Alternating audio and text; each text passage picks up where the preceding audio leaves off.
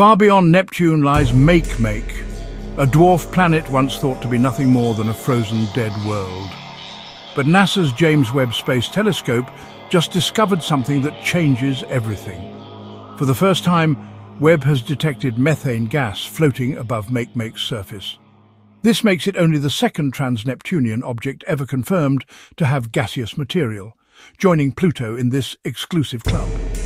Using its ultra-sensitive infrared vision, Webb spotted methane molecules absorbing sunlight and re-emitting it as a faint fluorescent glow.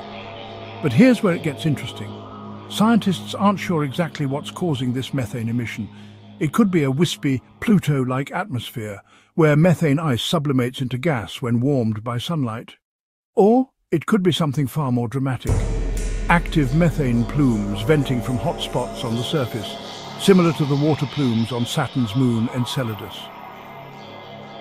Either way, this discovery proves that Makemake isn't the inactive remnant we thought it was.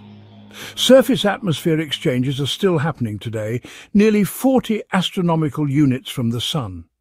The outer solar system isn't just a museum of frozen worlds, it's a dynamic place where chemistry and geology continue to shape these distant planets even in the deep freeze beyond Neptune.